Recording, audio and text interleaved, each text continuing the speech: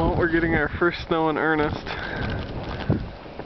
Here's the street somewhere. It's been snowing since yesterday.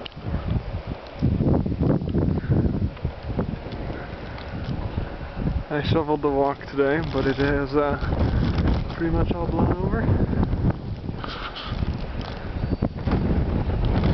Their car. We're over on that side of the street so that they can plow this side, in theory. Doesn't look like much is happening. Down that way. I'm freezing. I'm gonna go inside.